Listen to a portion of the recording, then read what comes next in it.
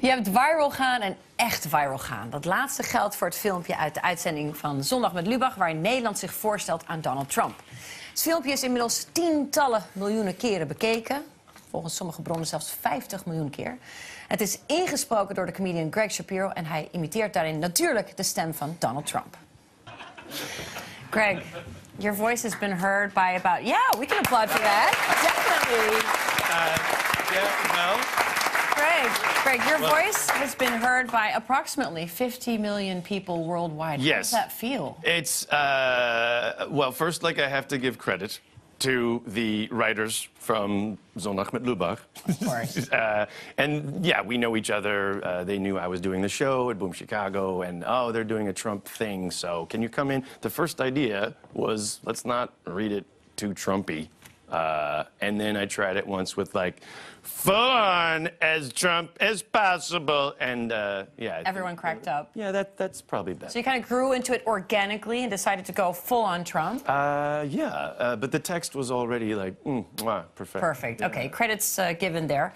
Still, when you're doing this, it's fun, it's hilarious. You never anticipate that 50 million No. people Yeah. will be watching and hearing your voice, I assume. Uh, well, it's nice that my family back in America are sharing this with me. Like, did you see this? It was on CNN.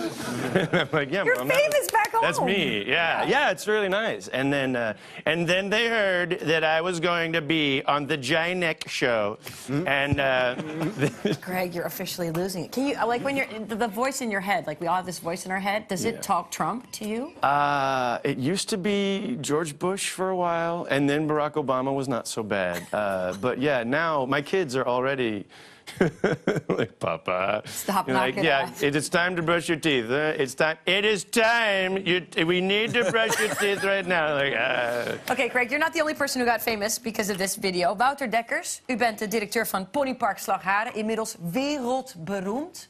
Hoe voelt dat? Ja, enorm, eh, enorm leuk. Eh, we hebben gigantische dagen achter, eh, achter de rug. Eh, juist in het jaar dat we eigenlijk de laatste keer alle ponies bij onze bungalows hebben. waar we eigenlijk De dus ponies gaan weg? Ja, de ponies gaan op een gegeven moment weg bij ons.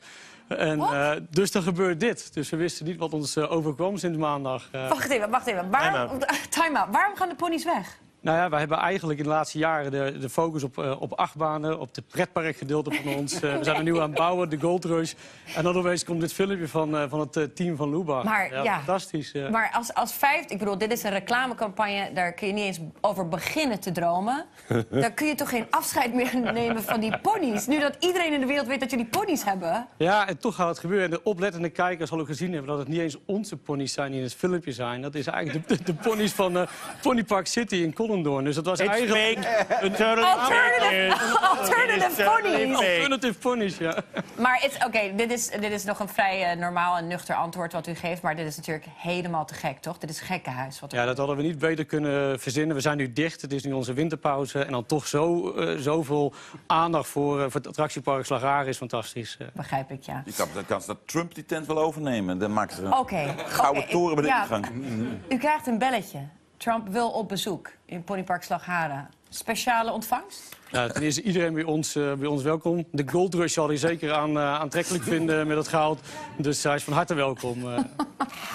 Oké, heel erg bedankt. Craig, back to you. Okay. Uh, Trump is your newest impersonation. It's obviously taken over your brain. Yeah, a little to a certain degree. Yeah. But you've been doing impersonations of American presidents for quite a while. You mentioned that it used to be Yeah. George W. Bush. Sure. Uh, Could yeah. you give us a little flavor of how that feels? Uh, he was, you know, uh, George Bush is, you know, a Texas kind of guy, and he also was, you know, he wasn't the first mentally ill president, but he maybe was the first president with a little bit of uh, mental something going on there.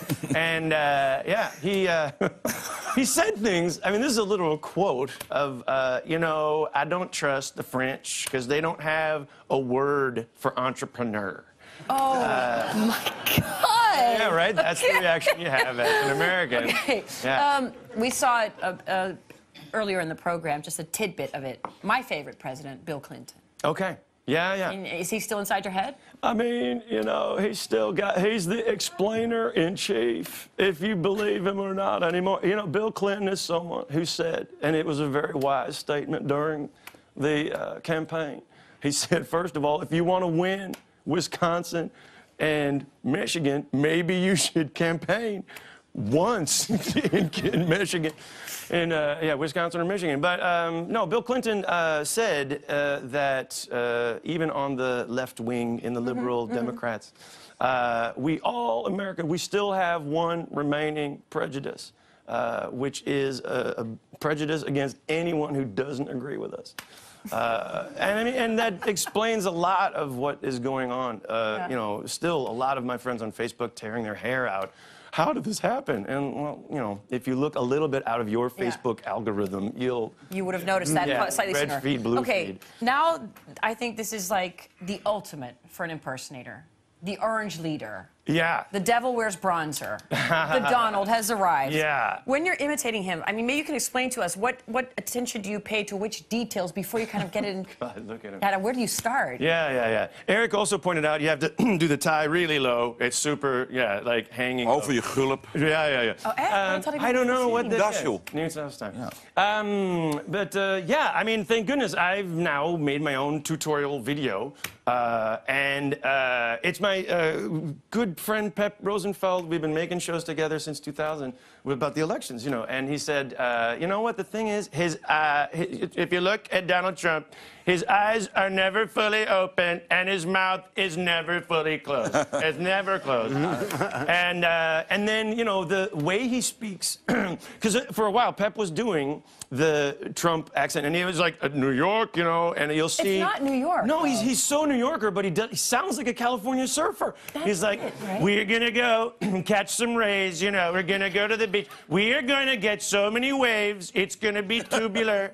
it's gonna be so gnarly. And yeah, I mean, and then It you, sounds completely not like New York, and you've been doing it the whole time, though. It's because it's really um, a, You can't hand help but thing. do the hands, yeah, exactly. exactly. And that is right. He will say, he will look into the camera and say, my hands, very big hands. I guarantee there's no problem down there. But his hands are telling a different story. He's like, no problem, but he's doing this one or this one. So it's like, I guarantee, no problem down there. But meanwhile, his hands are saying, peeny, peeny, teeny, teeny. Uh, and they just keep going back and forth from that, this, and this. Uh, Your hands are way too big. To, I know, to it's Trump, difficult 'cause He has for like me to get away miniature with it. hands. They're like. big- Did you see? paws. Hold up the big. I just signed this with my enormous signature. Anyway, uh, The miniature tiny, hand. teeny, tiny. And and the reason we do that is because we know he hates it. Uh, I mean, it's.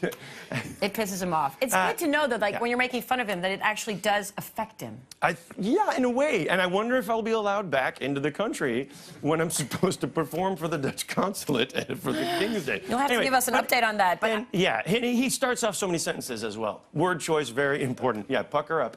Um, he, he'll start, you know, and this is how, and it's amazing to watch him because he will start so many sentences, and by the end, and people say this all the time, and they, and, and the media, they hate me for saying this, but everybody is wondering, how will he end?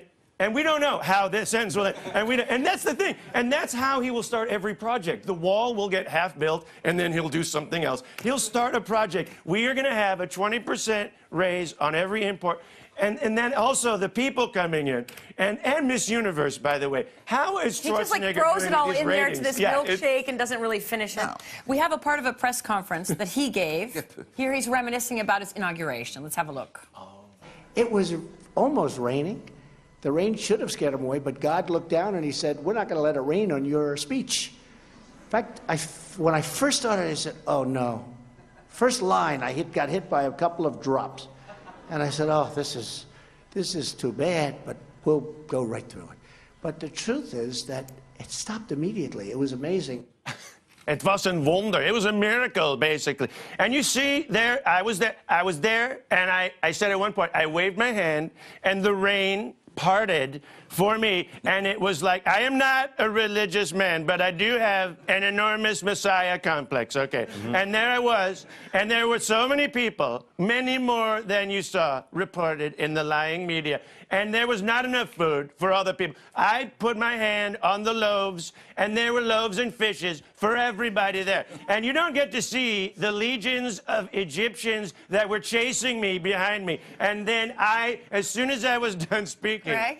I I'm really worried about you now. Okay, man? You are losing it The big Egyptians, time. they were flooded oh, away. Big time. And they didn't show that. I'm, I'm sure you're going to be enjoying the next four years. Thank you so much. Greg Shapiro is iedere vrijdag te zien in Amsterdam met Trump Up the Volume. Thank you, Greg. Thanks a lot.